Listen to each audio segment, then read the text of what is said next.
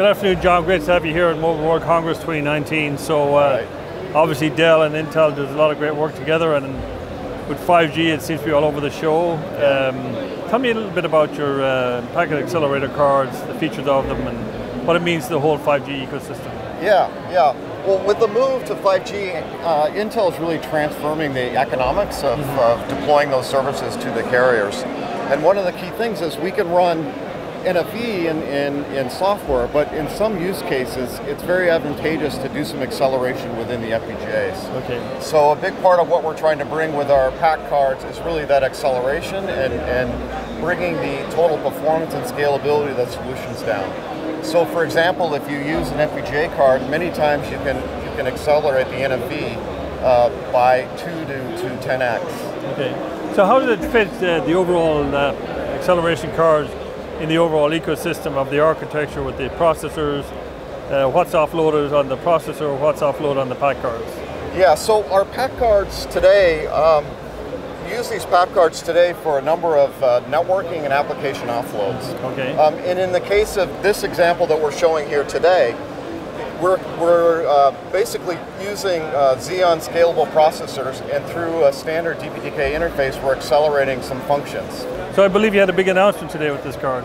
We announced this card today. Um, this is a, a, 100 gig card and it has uh, two Intel NIC chips on it as well as uh, an FPGA on top of it. And that's one of the things we're uh, demonstrating here today in the, in the booth. So Jon, can you actually walk us through the demo here where the PAC card is accelerating the data and what it means on the architecture itself? Yeah, absolutely. So what we're showing here is a, um, a layer 3 DPDK packet forwarding application. And the FPGA in this case is really managing the load balancing across the cores. So you can see in this case we actually we're running 100 gig through a single uh, FPGA card and you can see here that the, the uh, FPGA is distributing that load across the different cores. So clearly taking the load away from the, the core or CPU itself and allow the CPU to do other things. So this is a dedicated uh, accelerator to allow the deep packet inspection. Absolutely, you yeah. can free up the cores to run some other functions on that. And with that volume of data coming through, obviously we need technology like that. So yeah. I think it's a great demonstration of the innovation that you and the team are developing yeah. in the 5G space. Yeah, today today we're showing um, 100 gig per card, so we can do 200 gig in a server, but we have a roadmap to actually take that up to 400 gig. Good. So can you share a little bit about the uh, relationship and what we're doing with Dell uh, Technologies and Intel in the whole 5G ecosystem?